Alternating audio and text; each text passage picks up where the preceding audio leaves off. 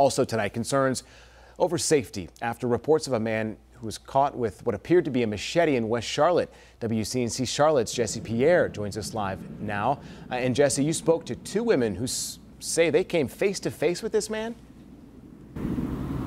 Yes, I have. Well, one incident happened here at the BP gas station right off of Little Rock Road. And, you know, the woman tells me that she had an encounter with a man with holding what she described as a machete. Now, this gas station is next to a plaza with several businesses, a, a grocery store, a laundromat, a business that you see families in and out. And both women I spoke to say they just want people to be extra careful in this area.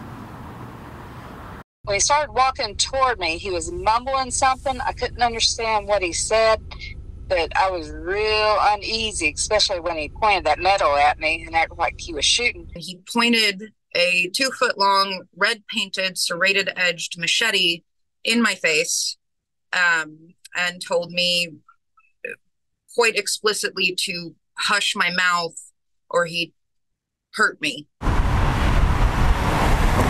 two scary encounters in one area of West Charlotte, just days apart. In both cases, a man believed to be homeless holding what appeared to be a large knife or machete.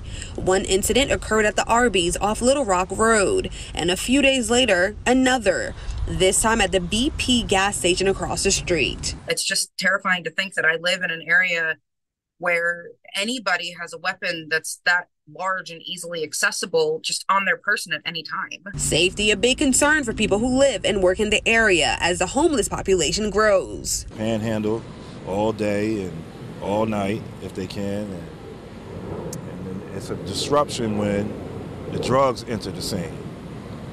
And that's mainly the biggest concern. Dennis McNeil believes some live in the wooded area behind the businesses and says it's a dangerous situation. At first, they should uh, get them some help, get them some help, and then and then set up a you know security after that. CMPD says if you do have an encounter like this, do not engage and call 911.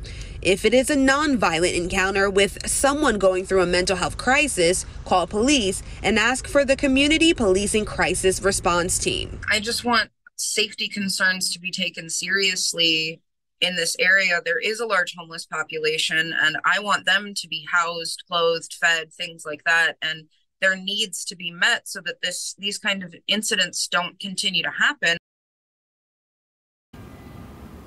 Now, Craig says she did call the police, but by the time they arrived, he was already gone. Again, both women just want folks to be on alert when in this area. Live in West Charlotte, Jesse Pierre, WCNC Charlotte.